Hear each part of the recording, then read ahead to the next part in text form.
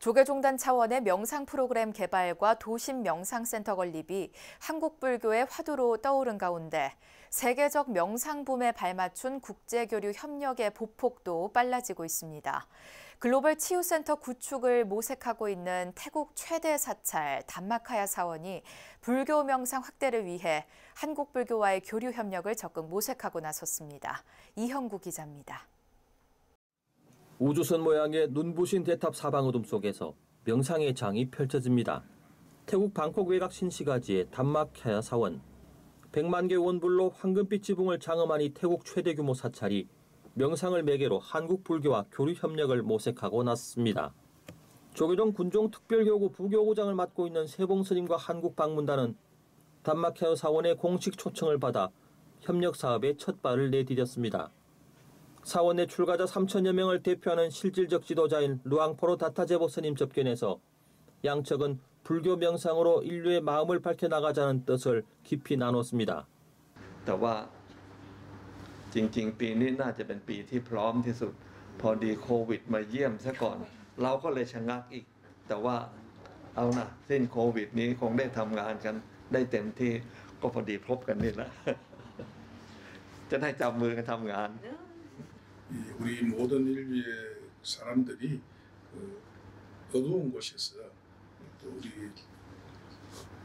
여기 담마과의 사원에 사는 명상을 통해서 자기를 밝히고 또 미래가 밝다라는 것을 인지하는 그런 그 수행체가 됐으면 좋겠습니다. 태국 불교 최대 사찰과 이 같은 협력 논의는 코로나19 이후 침체된 관광 산업이 빠르게 회복되고 있고 동남아를 중심으로 한류 콘텐츠 열풍이 뜨겁기 때문입니다. 최근 조계종이 이른바 K-명상의 세계화를 목표로 종단적 명상 프로그램 개발과 도심 명상 센터 건립 사업에 나선 것도 든든한 뒷받침이 됐습니다. 우리 한국 불교 대표적인 이제 조계종에서 어, 지금까지는 산속에 절이 있었지만 이제부터는 시내 도심에 나와서 어, 이렇게 명상센터를 건립하려고 노력을 하고 있습니다. กลายเป็นแต่ละคนช่วยตัวเองทางนั้น อัตตาหิตอัตโนนาโถทางนั้น นี่คือวิธีที่เจ๋งที่สุดละ 체계적인 명상법과 자원봉사 시스템 등으로 태국 불교계 개혁을 주도하고 있는 신흥종단 단마케어 사원은 내면의 평화를 통한 세계 평화를 기치로 내걸며 글로벌 치유센터 구축에 박차를 가하고 있습니다.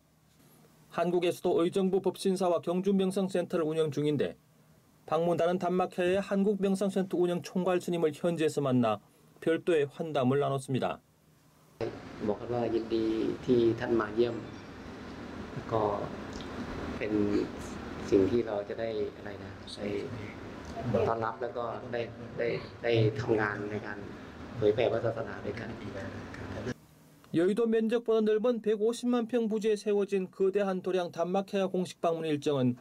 현지 스님들에게 공약물을 올리고 탑도리를 함께하는 프로그램 등으로 하루 내내 진행됐습니다. 불교 명상이 갖는 심신치유와 평화 증진 효과가 서방 세계에서 더 큰 주목을 받고 있는 시점에서 코로나 사태를 견뎌내고 본격적으로 재개된 아시아 국가 간 불교 교류가 어떤 시너지 효과를 낼지 주목됩니다. BBS 뉴스 이현구입니다.